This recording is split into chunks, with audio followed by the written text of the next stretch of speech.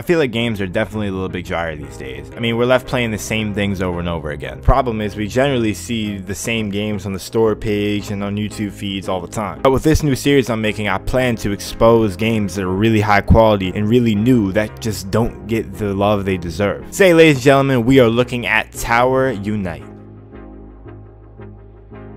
Tower Unite is one of those games that you just have a place in your heart for. Its its genre is somewhere between Garry's Mod and VR Chat, but perfectly blends the two games together into a productive and fun environment. What I like about the game is it starts off so chill and simple. You have the option to go to the plaza, the main area where most of the gameplay takes place, your condo, which is like your own decorative home where you can do insane detail and customization, and you just have overall the game servers that you're able to access, and you're able to access mini golf, not all types of games we're going to get into later. The game starts off not too complicated. You know, you spawn into this world where you're open to do whatever you want. It's a sandbox and you can engage and interact with other players, whether it's text chat or voice chat, interact with their skins, their profiles, and all types of stuff. There's not really an objective in the game. I mean, you can do anything. You can just explore, you can buy furniture for your house, make your condo look amazing with the variety of stores they have around the main plaza that sell all types of different things. Whether you just want to hit up and go bowling with your friends in the bowling alley and just watch YouTube videos or whatever while you're doing it, laughing. There's a crazy arcade where you can hit up beat scores, take all types of records. There's a prize pool, all types of shit that you can do in there. The, the arcade is honestly underrated.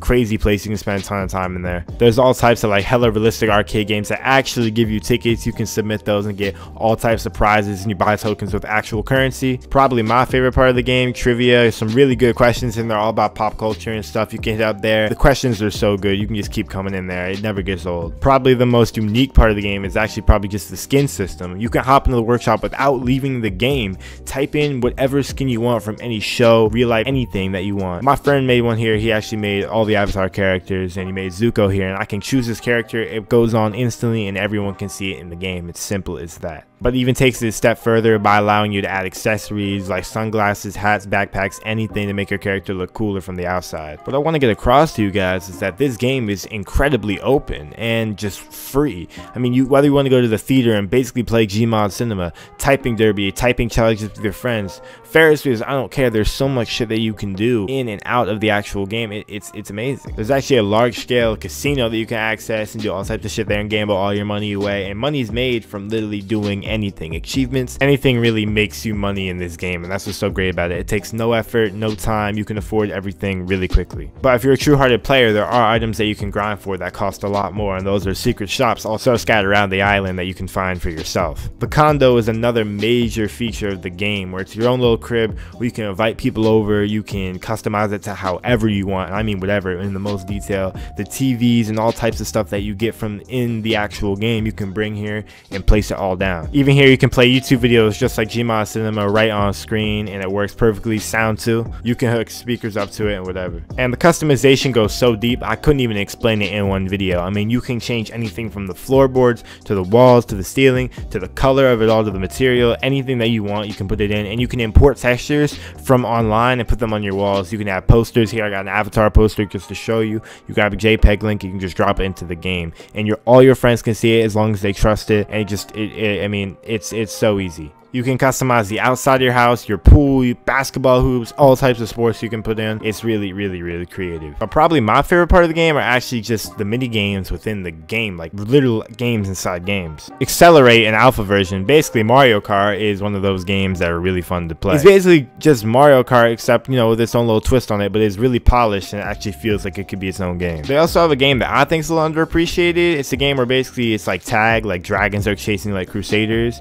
and it's it's pretty fun. It's just basically tag, but with a little twist on it because it's a dragon and shit. The maps are pretty fun. So that's one game that you can also play and win, win coins on. Mini golf is also a favorite. It's basically golf with my friends. Like I said, games inside games. And, you know, it's really simple, really fun, really funny because you're playing with like random people sometimes. People just fucking around and shit. I mean, you're just trying to get coins and it's a really relaxing way to do it. What I want you to take away from this review is just how open and yet how depthful the game is. Like, that's not a word, depthful. D the game has so much depth in, like, just how it's created. In each of these stores and mini games, you know, there's so much you can unlock, so many achievements, so many coins you can get, and you can use that to spend money on furniture, spend money on items, all types of stuff that you can use and just play around with and mess around. The game has no goal except to be goalless. It's just really a social hub, but like with its own Roblox, Garry's Mod twist on it. Not to mention all the people people you laugh with and all the people you interact with and all the mini game events there's just so much content in the game that you can uncover for yourself. I've only had the game for a week now and i mean I, am uncovering new stuff every day still. This game was so good to me that inspired me to make this series to find games like this that are this good and show them off to people on youtube. But anyway guys that's just a taste of a game. I don't want to spoil it all for you but i did hope you enjoyed this video. Make sure to leave a like comment and subscribe for more content. And as always guys i'll see you